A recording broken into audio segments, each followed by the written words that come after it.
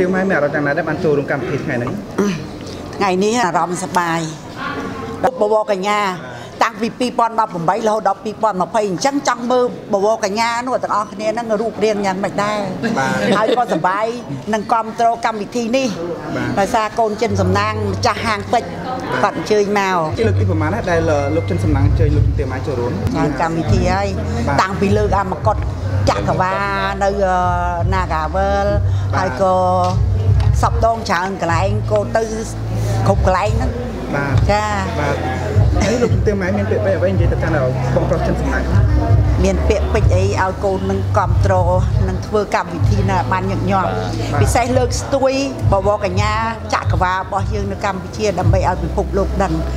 ណាហើយរឿងផ្សេងផ្សេងទៀតដូចរឿងត្បូងរឿងអីហ្នឹងគឺកូនអ្នកធ្វើកម្មវិធីស្អីស្អីហ្នឹងកូនអ្នកធ្វើអញ្ចឹងខ្ញុំអ្នកគ្រប់គ្រងពីក្រោយហើយមានជំទាវជំទាវច្រើនដែលគាត់គ្រប់គ្រងអញ្ចឹងជំទាវជំទាវច្រើនណាស់ថ្ងៃហ្នឹងមកគ្រប់គ្រងកូននេះស្អាតស្អាតតាដល់ខាងហ្នឹងបាទលោកជាសូមឲ្យលោកជាជួយអឺជួយផ្ដល់ជាដំបូន្មានទៅដល់ប្រវត្តិកញ្ញាទៅកាន់គាត់ក៏ជាបឋមក៏ខ្ញុំសូមឲ្យអឺបវរកញ្ញាទាំងអស់ដែលតំណាងឲ្យកម្ពុជាមួយទាំងមូល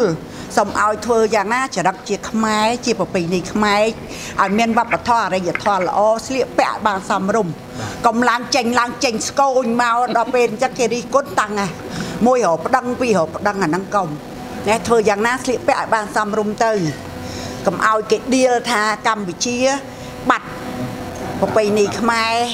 អរិយធម៌ផូរផង់បត្តនាអស់រៀបចំកម្មវិធីហ្នឹងត្រូវមើលឲ្យបានច្បាស់ត្រូវមើលឲ្យបានល្អ ដោយករណីយើងមើលប្រទេសគេជិតខាងទោះបីគេអរិយធម៌វប្បធម៌គេអឺស្តៀងស្តៀងយើង តែគេមិនដល់ចាញ់ប្រេះផ្ដាស់ទេអញ្ចឹងយើងជាខ្មែរនេះធ្វើម៉េចធ្វើម៉េចការពារប្រពៃណីខ្មែរកុំឲ្យចាញ់ប្រេះផ្ដាស់អាហ្នឹងខ្ញុំប្រាំផ្ញើធ្វើយ៉ាងណាឲ្យបានល្អពីចាប់ពីថ្ងៃនេះទៅ លើកទីប្រហែលហើយទេដែលខ្ញុំមកនេះ បើមានទៀតបវរចក្រវាលទាំងអស់គឺខ្ញុំឈប់មកហ្មងឈប់គ្រប់ត្រហ្មងអាការមិនអញ្ចឹងការស្លៀកពាក់ធ្វើម៉េចឲ្យសមរម្យលេងចាញ់ឡើងចាញ់ទាំងអស់ហើយដល់ពេលគេរិះគន់តិចប្តឹងចិត្តប្តឹងមកនគរអឺប្តឹងទៅខ្ញុំប្តឹងដែរអ្នកឯងបំផ្លាញវប្បធម៌ខ្មែរខ្ញុំអត់ចង់ឲ្យអ្នកទាំងអស់គ្នាធ្វើម៉េចកុំឲ្យបំផ្លាញនៅអរិយធម៌វប្បធម៌ខ្មែរ បាទធ្វើលៀកពាក់សមរម្យខ្ញុំផ្ដាំផ្ញើតែប៉ុណ្្នឹងទេនឹងអស់ហើយជំរាបសួរបងប្អូនទាំងអស់គ្នាបាទអ្នកសារព័ត៌មានជាតិនិងអន្តរជាតិបាទថ្ងៃនេះគឺមានគោលបំណងចង់បង្ហាញអំពីមាន3ចំណុចបាទធំធំបាទទី1គឺបង្ហាញអំពីម្ហូបខ្មែរយើងចង់ឲ្យពិភពលោកគេស្គាល់ថា តើម្ហូបខ្មែរហ្នឹងមានអ្វីខ្លះបាទបាទពីព្រោះពេលដែលខ្ញុំទៅបណ្ដាប្រទេសដូចជាថៃខាងជប៉ុនបាទខាងអឺរ៉ុបអីគេមានម្ហូបគេបាទអញ្ចឹងយើងចង់ឲ្យប្រជាពលរដ្ឋកម្ពុជាទាំងមូលគេស្គាល់ថានេះជាម្ហូបខ្មែររបស់យើងអូបាទហើយទីពីរទៀតគឺចង់បង្ហាញអំពីត្បូងរតនគិរីរបស់ខ្មែរយើងបាទហើយជាយើងដាំពេជ្រដាំអីទៅហើយចង់ឲ្យប្រជាពលរដ្ឋខ្មែរយើងនឹងយល់ដឹងអំពីច្បាស់ពីត្បូងរបស់យើងហើយអឺ ចង់ឲ្យប្រជាពលរដ្ឋគិតថានៅបរទេសគឺគេស្រឡាញ់គេទ្រាំទ្រត្បូងយើងណាស់បាទបាទហើយអញ្ចឹងសូមឲ្យប្រជាពលរដ្ឋខ្មែរគិតថាអ្វីដែលយើងមាន គឺជារបស់ដែលមានតម្លៃបាទកុំឲ្យតែរបស់ខ្មែរយើងអីក៏អន់អីក៏មិនល្អបាទបាទអញ្ចឹងយើងមានរបស់យើង បាទដែលបរទេសគេស្រឡាញ់ឯចំណែកខ្មែរយើងមិនទាន់ឲ្យតម្លៃបាទបាទនេះហើយជាចំណុចសំខាន់បាទឯចំណុចទី3គឺយើងអឺ បញ្ជូនកញ្ញាម៉ានីតាបាទទៅឯសហរដ្ឋអាមេរិកបាទនៅខែក្រោយដើម្បីរៀបចំឲ្យកញ្ញាម៉ានីតាហ្នឹងគឺគាត់ strong និងមានភាពអឺរឹងមាំហើយយើងបានអញ្ជើញបាទគ្រូមកពីប្រទេសឥណ្ឌាដើម្បីបំពេញចន្លោះខ្វះខាតក៏ដូចជាអឺគាត់បានទៅប្រទេសហ្វីលីពីនដែរបាទអញ្ចឹង ទាំងពីរចំណុចហ្នឹងទាំងហ្វីលីពីនទាំងឥណ្ឌាទាំងគាត់មានចំណេះជំនាញផ្ទាល់ខ្លួនខ្ញុំគិតថាគាត់នឹងមានលក្ខណៈសមសមរម្យមួយក្នុងការប្រកួតប្រជែងមានលក្ខណៈមួយ strong ក្នុងការប្រកួតប្រជែងនៅលើឆាកអន្តរជាតិនៅ Miss Universe នៅ2022នេះបាទនេះជាចំណុចដែលខ្ញុំចង់បានហើយលទ្ធផលខ្ញុំគិតថាយើងនឹងដឹងនៅថ្ងៃទី14ពេលដែលប្រកួតប្រជែងរយៈពេល2 3ថ្ងៃយើងនឹងដឹងថាតើកម្ពុជាយើងធ្វើបានដល់កម្រិតណាបាទ សូមអរគុណបងដោយសារតែអឺនេះគឺអាចចាត់ទុកបានថាជាកម្មវិធីលើកដំបូងបំផុតហើយដែលអឺបងបង្កើតរៀបចំឡើងសម្រាប់បវរកញ្ញាអឺដោយសារតែមូលហេតុអីដែរហើយបងអឺដាក់ក្តីរំពឹងមិនដែរជាមួយនឹងអឺការផ្ដល់កម្លាំងចិត្តដល់គាត់នៅពេលនេះបាទខ្ញុំមាន plan របស់ខ្ញុំការរៀបចំ plan នេះគឺយើងខុសពីបណ្ដាប្រទេសនៅជុំវិញពិភពលោកខ្ញុំអត់ទាន់មានឃើញប្រទេសណាមួយដែលគេរៀបចំលក្ខណៈទ្រង់ទ្រាយធំដូចយើងដើម្បីឲ្យកញ្ញារបស់គេទៅដល់អឺការប្រកួតនោះទេអញ្ចឹងមានន័យថាយើងត្រៀមខ្លាំងមែនទែនត្រៀមតាំងពីការរៀបចំត្រៀមតាំងពីស្មារតីការស្នាក់នៅរបស់គាត់ការហូបចុករបស់គាត់គឺយើងប្រាប់គាត់កុំឲ្យហូបរបស់ណាដែលប៉ះពាល់ដល់សុខភាពហើយគាត់ធ្វើយ៉ាងម៉េចទៅដល់មុនការប្រកួតរយៈពេល3ទៅ4ថ្ងៃយ៉ាងតិចបំផុត ដើម្បីឲ្យគាត់មានអារម្មណ៍ថាគាត់នឹងអាចយកជ័យលាភីឬក៏មានចំណាត់ថ្នាក់មួយណាល្អសម្រាប់អឺអឺសម្រាប់គាត់ដែលអាចថាពិភពលោកនឹងអឺ remember Cambodia បាទអាចអាចនឹងថាង កញ្ញានេះម៉ានីតានឹងធ្វើឲ្យប្រជាពលរដ្ឋកម្ពុជាភ្ញាក់ផ្អើលក៏ដូចជាពិភពលោកនឹងមានការភ្ញាក់ផ្អើលដោយសារគាត់មានសមត្ថភាពពិតបាទដោយសារតែអឺអឺការផ្សារភ្ជាប់ជាមួយអាជីវកម្មបងជាមួយនឹងបវរកញ្ញាតើមែនទែនទៅបងក៏អាចផ្សព្វផ្សាយអឺអាជីវកម្មបងជាមួយនឹងកម្មវិធីក៏ដូចជាវិធីសាស្ត្រផ្សេងដែរហើយឃើញបងអឺបានចំណាយច្រើនមែនទែនទៅលើវិស័យបវរកញ្ញាតើតើបងចាប់អារម្មណ៍មិនដែរចំពោះអឺអឺការឃើញបែបនេះការ sponsor ហ្នឹងអឺការ sponsor ដោយសារខ្ញុំមានមនោសញ្ចេតនាមួយបង្រួតដែលស្គាល់គាត់យូរឆ្នាំហើយហើយឃើញថាការងារដូចជាមិនទៅមុខសោះបាទឲ្យទៅទៅតែប្រឡងទៅធ្លាក់ប្រឡងទៅធ្លាក់អត់មានចំណាត់ថ្នាក់ណាមួយដែលយើងគិតថាយកជាជាខ្ទង់មកបានដើម្បីឲ្យមកជូនជាតិរបស់យើងណាដល់ពេលអញ្ចឹងបើសិនជាខ្ញុំ sponsor ខ្ញុំជួយទំនុកបំរុងខ្ញុំគិតថាវានឹងអាចកើនឡើងពីមួយឆ្នាំទៅមួយឆ្នាំទោះជាកម្រិតណាក៏ដោយប៉ុន្តែយើងនឹងអាចផ្លាស់ប្ដូរពីមួយឆ្នាំទៅមួយឆ្នាំខ្ញុំគិតថាឆ្នាំនេះគឺ ខ្លាំងហើយឆ្នាំក្រោយក៏ខ្លាំងលើសនឹងទៀតបាទបងអឺថ្ងៃនេះឮថាមានការបង្ហាញជាមួយនឹងគ្រឿងពេជ្រអីមួយចំនួនដែរថាតើអឺគ្រឿងពេជ្រជាមួយនឹងត្បូងខ្មែរហ្នឹងថាតើត្រូវបានរចនាបែបម៉េចដែរដើម្បីអឺអប្រកួតប្រជែងបាទដូចដូចដូចខ្ញុំអឺបាននិយាយអញ្ចឹងហាងពេជ្រ CSNJ គឺជាហាងមួយដែលផ្ដោតទៅលើគុណភាពទៅដល់អតិថិជនផ្ដល់នៅសេវាកម្មជាហាងមួយដែលផ្ដល់នៅសេវាកម្មដ៏ល្អជាមួយនឹងគុណភាពជាមួយនឹងតម្លៃជាមួយនឹងសេវាកម្មហើយអ្វីដែលសំខាន់ណាស់បងប្អូនខ្ញុំចង់ឲ្យបងប្អូនប្រើគ្រឿងអលង្ការបាទល្អដូចបណ្ដាប្រទេសផ្សេងផ្សេងៗអញ្ចឹងដូចគេនៅថៃនៅសិង្ហបុរីនៅឥណ្ឌូនេស៊ីនៅអ៊ីតាលីអញ្ចឹងពេលដែលគេប្រើគ្រឿងអលង្ការមានអារម្មណ៍ថាគេទិញទៅដូចថាទឹកមាសក៏ល្អទឹកពេជ្រក៏ល្អអ្វីអ្វីគឺមានន័យថាគឺកេរ្តិ៍ឈ្មោះរបស់ប្រទេសរបស់គេហ្នឹងគឺ ធ្វើឲ្យចង់និយាយថាគ្រឿងអលង្ការហ្នឹងមានមានអារម្មណ៍ថាពាក់ទៅល្អពាក់ទៅស្រួលមានតម្លៃអញ្ចឹងអញ្ចឹងហើយបានជាខ្ញុំយកអ្នកជំនាញជំនាញមកពីប្រទេសឥណ្ឌាមកពីអ៊ីតាលីដើម្បីជួយការរៀបចំក្រុមហ៊ុន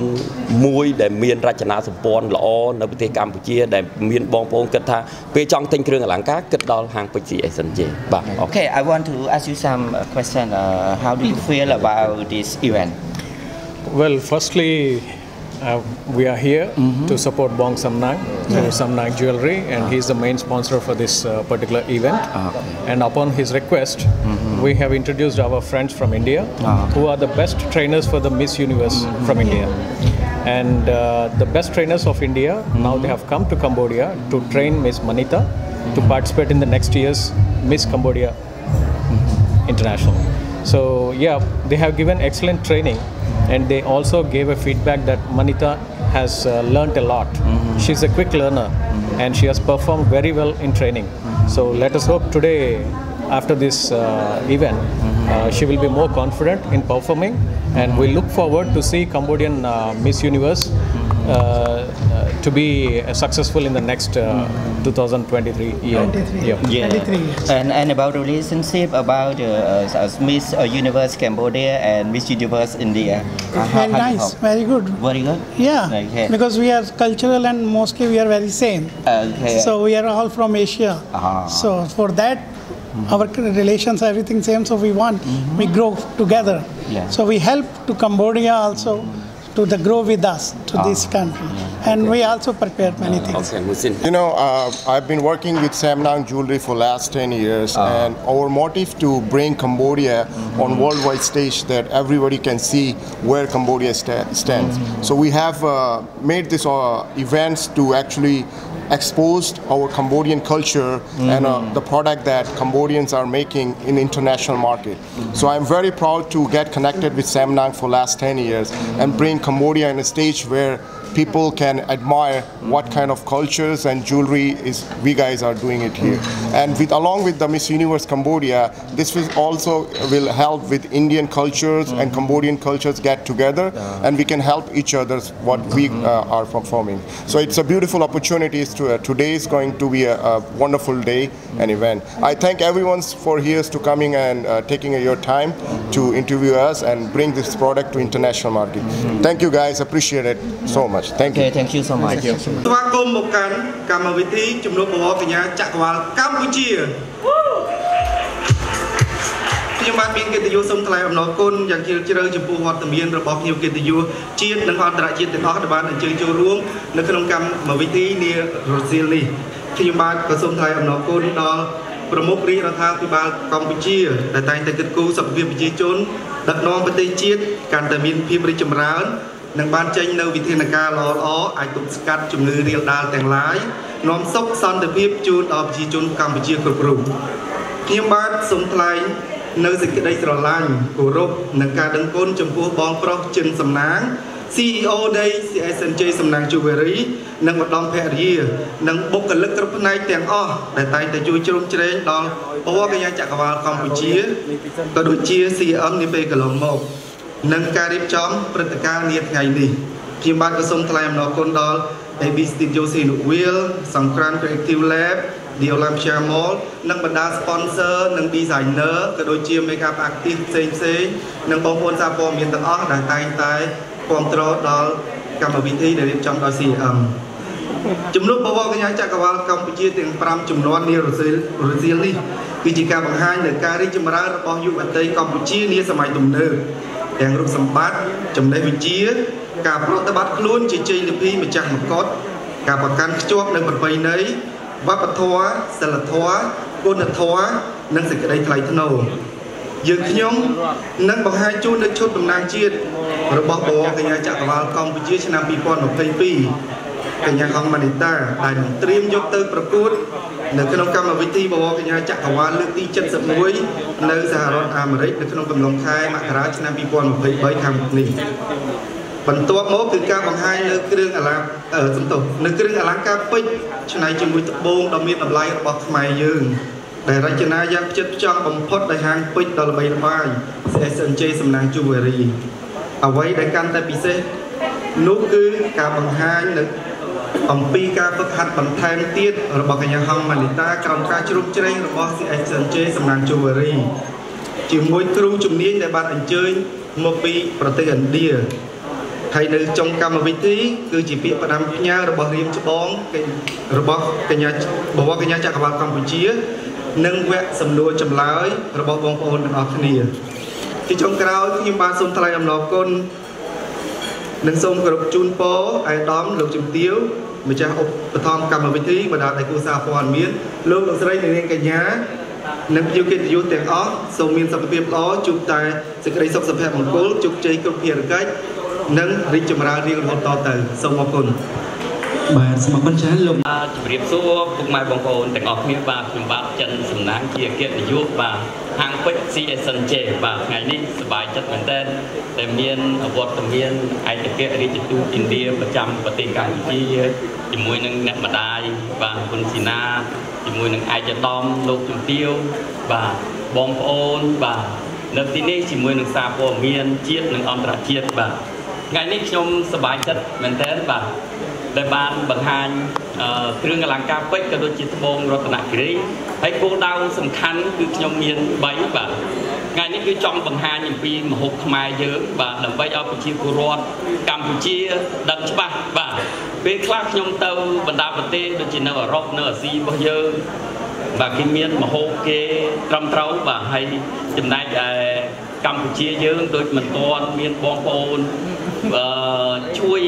ទ្រាំទ្រមហូបខ្មែរនៅឡើយទេអញ្ចឹងមានន័យថាថ្ងៃនេះគឺ5តុកបាទ VIP គឺបង្ហាញអំពីមហូបខ្មែរដែលមានស្លកកោមានអាម៉ុកមាននំខ្មែរខ្មែរតែម្ដងបាទ ដែលសង្ឃឹមថាបងប្អូននឹងជួយទ្រាំទ្រមហុកខ្មែរយើងដូចបណ្ដាប្រទេសផ្សេងផ្សេងបាទគេតែងតែទ្រាំទ្រដូចឥណ្ឌាអីគេមកគេមានមហូបរបស់គេត្រឹមត្រូវបាទវាខ្លះគេចង់ទៅហូបគេទៅ restaurant ឥណ្ឌាអញ្ចឹងបើសិនជាខ្ញុំថ្ងៃណាមួយទៅអឺរ៉ុបឬក៏ទៅជប៉ុនអីមានមហូបខ្មែរខ្ញុំសប្បាយចិត្តណាបាទហើយទី2គឺចង់បង្ហាញអំពីត្បូងខ្មែររតនគិរីរបស់យើង បាទគឺជាត្បូងដែលមានតម្លៃបាទនៅ ប្រទេសកម្ពុជាដែលមិនទាន់មានត្បូងណាល្អដូចត្បូងខ្មែរយើងនៅឡើយទេបាទគឺពណ៌ហ្នឹងគឺមិនជន់ពីដូចជាត្បូងអីផ្សេងផ្សេងដូចឧទាហរណ៍ថាត្បូងតទឹមអីចឹងទៅមានវៀតណាមមានថៃភូមា បាទនៅបណ្ដាប្រទេសផ្សេងផ្សេងគេមានពណ៌ក្រហមដែរបែនប៉ុន្តែចំណែកឯត្បូងរតនគិរីយើងគឺពណ៌ខុសប្លែកពីគេហ្មងបាទបើសិនជាឃើញត្បូងខ្មែរយើងប្រៀបធៀបដូចជាឃើញអង្គរវត្តប្រៀបធៀបដូចជាឃើញថាជាប្រជាពលរដ្ឋកម្ពុជាទៅហើយបាទអញ្ចឹងសង្ឃឹមថាពុកម៉ែបងប្អូននៅប្រទេសកម្ពុជាសង្ឃឹមថាបងប្អូននឹងជួយទ្រាំទ្របាទឯ ចំណុចទី3បាទគឺអញ្ជើញកញ្ញាម៉ានីតាបាទគាត់នឹងរៀបចំខ្លួនទៅប្រកួតប្រជែងនៅឯលើឆាកអន្តរជាតិបាទគឺសង្ឃឹមថាឆ្នាំនេះគឺខ្ញុំប្រឹងប្រែងមែនតើបាទជាមួយនឹងអញ្ជើញគ្រូមកពីប្រទេសឥណ្ឌាមកសមហាត់បន្ថែមនៅចំណុចខ្វះខាតដែលគាត់មានហើយសង្ឃឹមថាអ្វីដែលយើងប្រឹងប្រែងនឹងបានលទ្ធផលការប្រកួតប្រជែងនៅសហរដ្ឋអាមេរិកនៅខែក្រោយ ហើយសង្ឃឹមថាជូនពរឲ្យបងអូនបាទជាប់ជ័យលេខ2បាទទោះជាយើងយើងគិតថាតើអ្នកដែលជាប់ជារៀងរាល់ឆ្នាំហ្នឹងគាត់មិនមែនជាទេវតាធ្លាក់មកពីលើមេឃទេគាត់ជាមនុស្សដូចយើងដែរអញ្ចឹងខ្ញុំគិតថាម៉ានីតាគាត់មានសមត្ថភាពខ្ពស់នឹងអាចយកជ័យលាភីឬក៏យកតំណែងណាមួយមកឲ្យកម្ពុជាបាន ក្នុងពេលឆ្នាំ2023នេះបាទហើយក៏សូមអរគុណបាទហើយ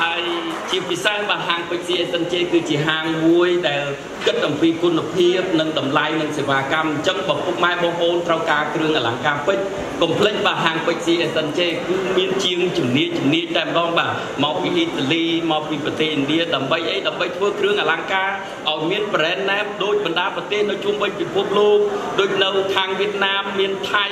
បាទ ខាងឥណ្ឌូនេស៊ីអ៊ីតាលីបាទគឺគេមាន brand name របស់គេចំណែកឯកម្ពុជាយើងពេលដែលទិញគ្រឿងអលង្ការភាគច្រើនគេថា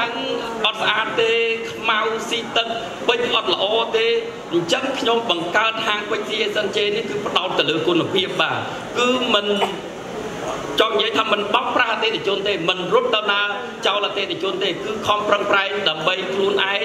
ដើម្បី brand name ដើម្បីប្រទេសរបស់ខ្ញុំបាទសូមអរគុណទាំងអស់គ្នាបាទបាទសូមអរគុណបឋមខ្ញុំសូមជម្រាបសួរអាដាមលោកទាវលោកលោកស្រីពិសេសអ្នកសារព័ត៌មានទាំងអស់ដែលមានវត្តមាននៅទីនេះក្នុងជំនួបជំនួបបវរកញ្ញាចក្រវា ខ្ញុំមានសេចក្តីរំភើបអត្តឧបមាដោយបានចូលជិនសំឡាងដែលម្ចាស់កម្មវិធីក្នុងការបើកជំនួបបវរកញ្ញាទាំងអស់នេះខ្ញុំគ្មានអ្វីនិយាយទេដោយសារអីក៏អត់បានត្រៀមទុកដែរព្រោះអីកូនថាអត់មានឡើងមកនិយាយអីទេ តែថ្ងៃនេះខ្ញុំសូមបញ្ចេញមតិតិចក្នុងការ បវរកញ្ញាទាំងអស់ឮថាទៅប្រឡងនៅប្រទេសអាមេរិកនិងមួយទៀតករណីដែលអ្នករៀបចំកម្មវិធីបវរកញ្ញាទាំងអស់ខ្ញុំសូមផ្ដំផ្ញើទី1ធ្វើយ៉ាងណាដើម្បីឲ្យរក្សាវប្បធម៌ប្រពៃណីដ៏ផូរផង់តែយើងថែរក្សាពីមុនមកហើយម្ចាស់កម្មវិធីដែលរៀបចំរឿងបញ្ហាបវរកញ្ញាធ្វើយ៉ាងណា ក្នុងខេត្តមួយមួយនឹងការមកស្លៀកពាក់ធ្វើយ៉ាងណាឲ្យបានសមរម្យតែយើងជាខ្មែរតែជាខ្មែរចឹងទេការស្លៀកពាក់អ្នកម្ចាស់កម្មវិធីធ្វើយ៉ាងណាឲ្យស្លៀកពាក់ឲ្យបានសមរម្យជាប្រពៃណីខ្មែរគេចោទយើងថាថ្ងៃប្រហែលថ្ងៃនេះគេថាម៉េចគេថាមើលប្រទេសជិតខាងគេដើរដល់ណាហើយពិតមែនហើយ ប្រទេសជិតខាងគេដើរដល់ណាក៏ជារឿងរបស់គេតែយើងរក្សាប្រពៃណីរបស់យើងយើងមិនអាចចេញនេះណានៃអានោះវាអត់ល្អចឹងទេខ្ញុំក៏ផ្ដាំផ្ញើអ្នកម្ចាស់កម្មវិធីរៀបរៀងរៀបទីទៀតអ្នកម្ចាស់កម្មវិធីចាកម្មវិធីធ្វើយ៉ាងណាកុំចេញចេញអាអីនោះដូចអីតឹងត្រែងស្អីស្អីអាហ្នឹងណាខ្ញុំអត់ទេថ្ងៃនេះខ្ញុំនិយាយព្រោះខ្ញុំចូលរួមក្នុងអា បវរកញ្ញាចក្រវាលហ្នឹងប្រហែលដងហើយតែបើម្ចាស់កម្មវិធីធ្វើការស្លៀកពាក់ដូចតាមតឹងត្រែងតាមអីចេញអីចេញអីខ្ញុំឈប់មកសន្យាថ្ងៃនេះគឺខ្ញុំឈប់មកគ្រប់គ្រងណាហើយក៏សូមជូនពរដល់មិននិយាយច្រើនទេកុំឲ្យថាខ្ញុំឡើងមករិះគន់តែការខ្ញុំរិះគន់ក្នុងន័យស្ថាបនាដើម្បីកុំឲ្យអឺ វប្បធម៌ដ៏ផូរផង់អរិយធម៌វប្បធម៌យើងធ្លាក់ចុះដោយសារការបញ្ចេញនៅគេម៉ែកន្លងហើយការបញ្ចេញនៅគេម៉ែនឹងហើយរហូតដល់ការរិះគន់អញ្ចឹងម្ចាស់កម្មវិធីធ្វើយ៉ាងណាកុំឲ្យអាចចេញគេម៉ែនោះឲ្យគេរិះគន់ដល់ពេលគេរិះគន់តាំងឲ្យរកប្តឹងមកនគរកន្លះនគរយើងមានលុយប្តឹងទៅតែសួរថាប្តឹងនេះវាបានស្អីមកវិញទេតែបញ្ចេញគេម៉ែនោះអាហ្នឹងមួយហើយ មួយទៀតក៏សូមជូនពរដល់តំណាងអឺបវរកញ្ញាចក្រវាលរបស់យើងដែលឆ្នាំ2023ខាងមុខដែលបានថាចេញទៅប្រកួតប្រជែងនៅទីក្រៅប្រទេសទាំងអស់សូមជូនពរដល់នាងសូមឲ្យនាងចេញដំណើរសុខសុវត្ថិភាពហើយក៏សូមឲ្យបានជោគជ័យព្រោះម្ចាស់កម្មវិធីអ្នកជំនួយថាឲ្យទៅចប់ត្រឹមលេខ10ឡើងទៅ គឺឲ្យ10000ចឹងឯងខ្ញុំឮសំឡេងគាត់អ្នកម្ចាស់កម្មវិធីណាចឹងគេក៏សូមជូនពរនាងទៅប្រឡងខាងក្រៅប្រទេសសូមឲ្យសុខសុវត្ថិភាពក្នុងការធ្វើដំណើរទាំងទៅទាំងមកនិងសូមជូនពរដល់លោកជំទាវឯកឧត្តមលោកលោកស្រីទាំងអស់សូមទស្សបារមីវត្ថុស័ក្តិសិទ្ធិនៅលើទឹកដីអង្គរនៅលើទឹកដីនៅលើចក្រវាលទាំងមូល